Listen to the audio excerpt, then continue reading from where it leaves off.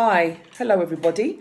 My name is Joanne and I'm from a company called Be Educated and we are a community interest company. And I have my five tips for parents homeschooling, now homeschooling children um, at home. So, tip number one. So, keep up a routine. This includes what time you wake up in the morning, and parents and carers, you will have to rise with the children to set the example and to keep the momentum going, um, as well as to set the school tasks for this for the day. So ensure the kids receive plenty of breaks in between lessons. And parents and carers, if wearing their school uniform helps to keep them focused and structured, let them wear it. But um, let that be the children's choice. You don't want to find yourself getting into a fight with children about wearing school uniform or how much work is done in the day. So Tip number two so to aid schoolwork, where possible, make the kids' downtime an educational one. So this will supplement the shortfall of the school day. Um, board games such as Scrabble are good for language and literacy, for example. Uh, tip number three if you have an outdoor space, no matter the size, gravelled grass or concrete, this is the time to use it. Um, if it requires a bit of an inexpensive makeover, make it over, make it a project, and get the kids cr- creatively involved. Tip number four is all for you adults. Make sure that you're making time for yourself to keep your, your well being maintained.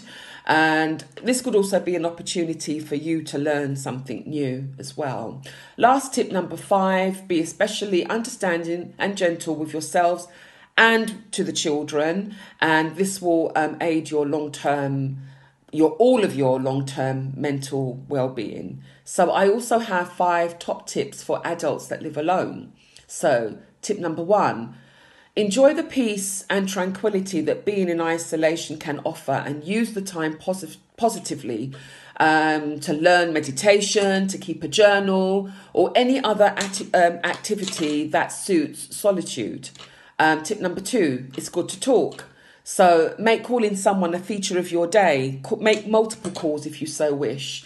Um, this will enable you to feel connected. So this is a good time for you to go through your phone contacts and touch base with people.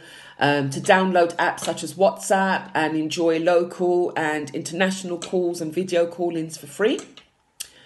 Um, tip number three do not overload, but keep yourself updated with the current with current news and current events. Um, tip number four: routine your day as much as possible. This will help with your time management, but also allow for spontaneity if that lifts your mood as well. So the last tip is keeping in mind the rules of social distancing Identify a neighbour if you can that could be a friend during this time, so it, so as to build on your nearby support. Um, also, look out for leaflets that your neighbours may drop into your letterbox, letting you know about local community support networks in your immediate area.